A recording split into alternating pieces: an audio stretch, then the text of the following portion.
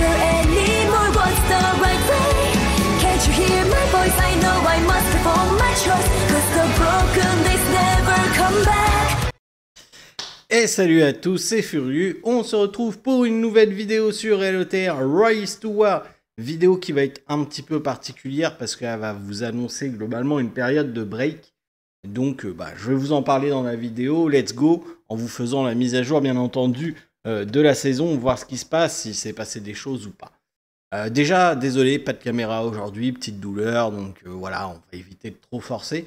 Mais vidéo quand même, parce que il faut que je vous annonce quand même la chose. Du coup, vous le savez, et pour ceux qui ne le savent pas, je vais le réexpliquer. Le Seigneur des Anneaux fonctionne en saison, ce qui permet notamment au free-to-play de ne pas être trop être largué par rapport au cash player. Le problème, c'est que quand une saison est finie, on ne retourne pas tout de suite à Bag-End. Il y a quand même une durée déterminée à la saison, ce qui permet euh, bah, des retournements de situation de dernière minute, ça peut arriver. Mais pour le moment, sur notre serveur, ce n'est pas le cas. Alors, il y a eu une baston, euh, comme vous le voyez, je me suis téléporté. Il y a eu une baston à Madortang euh, qui s'est faite, qu'on a repris. Voilà, ils n'ont même pas eu le temps d'établir le royaume. Ils ont, pris la, capitale, ils étaient prêts à établir le royaume, mais ils ont, comme il y a un cooldown de 24 heures, bah, ils n'ont pas eu l'occasion parce qu'on l'a repris en moins de 24 heures.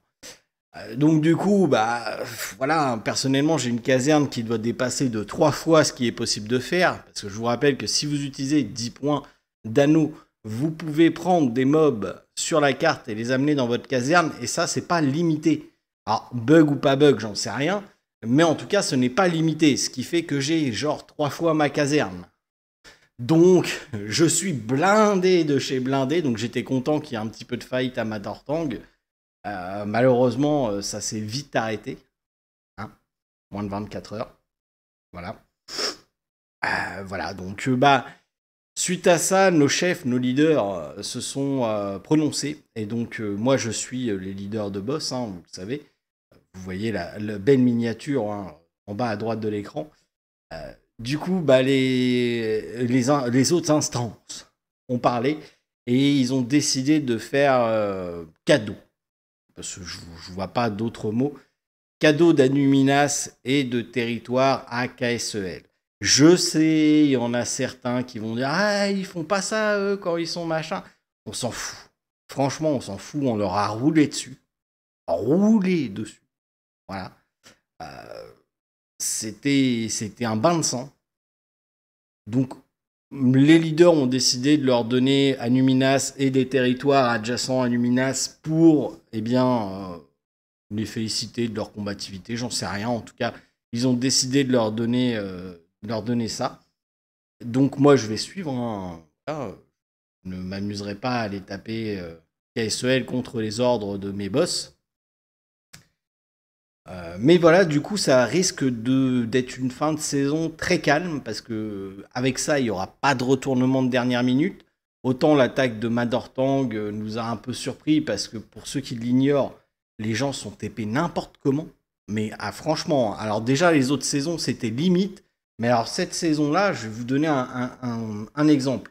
Par exemple, dans la région de Mardortang, quand on a clean, parce que bien entendu, vous vous doutez bien qu'il y avait des cités un peu partout ici, hein, il y a encore des cases rouges, vous voyez, il y avait des cités un peu partout ici, eh bien, quand on attaquait et qu'on dépopait une cité ici, repopait ici, tabarnak Repopait à Dorwignon. On en a même eu dans les plaines d'Achen, juste à côté de nous, quoi. Donc, euh, il y aurait pu y avoir des retournements de de situation. Je vous rappelle, étant donné que la map est divisée en 90, 90 euh, parties, vous voyez là, eh bien, il suffit qu'ils prennent un, une tour de scout et après ils peuvent tous se téléporter dans la zone. C'est ce qu'ils ont fait pour Madortang. Euh, ils auraient très bien pu le faire pour une autre capitale ou autre. Il y aurait pu y avoir d'autres combats comme ça. Personnellement, je vous avoue que si j'avais été leader de la faction en face de la nôtre, euh, c'est ce que j'aurais fait. J'aurais programmé un truc au dernier moment pour bam rentrer dedans par surprise. Bon, ils ont vu qu'on était assez réactif et qu'en moins de 24 heures, on pouvait reprendre une capitale. Ça laisse peu d'espace, très clairement. Ça, laisse vraiment peu d'espace, je le conçois. Mais j'aurais peut-être tenté un truc comme ça. ou avec l'anneau, euh, ou envoyer une partie de méga sur l'anneau pour les distraire, et bam, en fait, on se téléporte à, à une capitale. Bref, j'aurais peut-être tenté un truc de ce genre-là, étant donné que c'est vraiment très simple de prendre une tour de scout et ensuite bah, tout, se téléporter. Et comme le jeu, malheureusement, n'est pas bien fait en ce qui concerne eh euh, les téléportations une fois qu'on détruit une cité, bah euh, voilà, hein, euh, ça aurait pu être facile pour eux de le faire. Ça aurait pu être facile pour eux de le faire, mais à la place, une entente a été trouvée. Alors, bonne ou pas bonne, hein, c'est pas à moi, de le décider.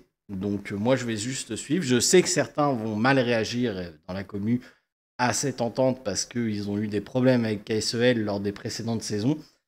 Mais euh, Boss a décidé ça. Euh, personnellement, j'ai aussi toujours essayé, à part ceux qui nous l'ont fait à l'envers, euh, de donner des, territoires et des récompenses à la fin de chaque saison. Voilà. donc, donc, bah voilà, je conçois totalement la chose. Je conçois totalement la chose. Là, on est en situation de pouvoir. Euh, une entente a été trouvée. Alors, il y aura un espace PVP, une sorte d'arène PVP. Très franchement, euh, je vois pas. Enfin, personnellement, oui, je vais y aller, je vais faire du PVP. Mais euh, voilà. Ce qui veut dire qu'en termes de présence sur la chaîne, LOTR va ralentir.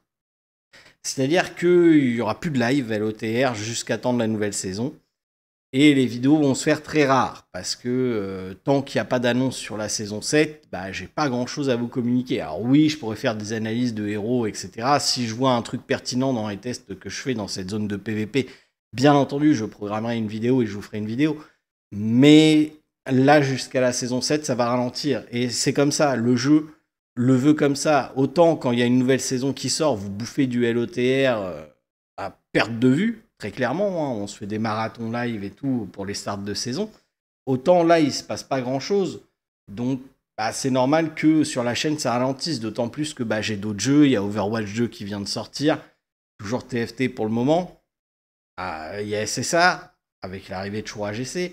Bref, il y a d'autres choses qui se passent aussi sur la chaîne. Donc, bah, vu que LOTR, là, ça va être calme jusqu'à la saison 7 et aux annonces avant, parce que bien entendu, je vous ferai des vidéos pour parler des annonces qui seront faites pour la saison 7. Mais pour le moment, ça va relaxer, ça va se calmer. Alors le Discord est toujours là, si vous avez une question à poser, j'essaye d'y passer assez régulièrement, malgré mes rendez-vous, j'essaye de répondre aux questions que je vois s'ils n'ont pas déjà été répondues, bien entendu. Euh, mes MP sont toujours ouverts, pareil, j'essaye d'y répondre au maximum. Mais euh, voilà, en, ce qui concerne les vidéos, ça va se calmer les lives, ça va se calmer jusqu'à la prochaine saison où, comme d'habitude, on va avoir une série de vidéos pour les annonces de la saison 7 et bien entendu le bon live marathon pendant 2-3 jours euh, au start de la saison 7 ou au start d'une saison précédente parce qu'on n'a pas encore décidé ce qu'on allait faire. On attend de voir une fois arrivé à Bagend ce qu'on nous propose. Euh, en tant que boss, parce que je serai encore chez boss, hein, et je vais y rester probablement jusqu'à la fin du jeu. Euh, donc bah voilà, on verra ce qu'il en est à ce moment-là. Mais en tout cas, jusqu'aux nouveautés, jusqu'à une nouvelle saison, jusqu'à temps qu'on soit coincé sur ce serveur-là, en gros, euh, la présence de LOTR sur la chaîne va diminuer, va ralentir. Et c'est normal, mais vous inquiétez pas, une fois qu'il y aura de la nouveauté, une fois que soit on rentrera dans une, euh, dans une autre saison, ou euh, qu'on ira dans la nouvelle saison, eh bien, vous aurez les live marathons de start, vous aurez les annonces en vidéo qui seront faites. Pareil, si jamais on décide de, par exemple, au hasard, on refait une saison 6 ou on refait une saison 3 ou peu importe, et qu'il y a la saison 7 qui sort, je vous ferai quand même les vidéos d'annonce de sortie de la saison 7, hein, très clairement. Voilà. Mais voilà, vous êtes au courant maintenant. Euh, me demandez pas si j'ai arrêté le jeu, je n'ai pas arrêté et je n'arrêterai pas. Voilà.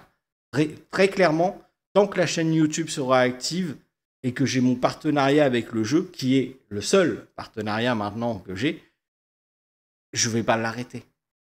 En plus, j'ai enfin trouvé un groupe d'actifs, je ne vais pas arrêter. Alors que là, franchement, j'ai passé ma meilleure saison. Donc je ne vais pas arrêter. Faut pas, faut pas être fou. Voilà. Sur ce, eh bien, euh, je vous souhaite à tous de passer une excellente journée, soirée, nuit, peu importe quand vous regarderez cette vidéo. On se retrouvera en live pour LOTR euh, dès demain. Je ne sais pas si la zone PVP sera déjà mise en place ou pas. Si elle est mise en place, on ira en faire. Si elle n'est pas mise en place, bah, je ne sais pas ce qu'on fera. On placotera ensemble pendant une heure, une heure et demie. Et puis voilà. Hein Sur ce, ciao tout le monde.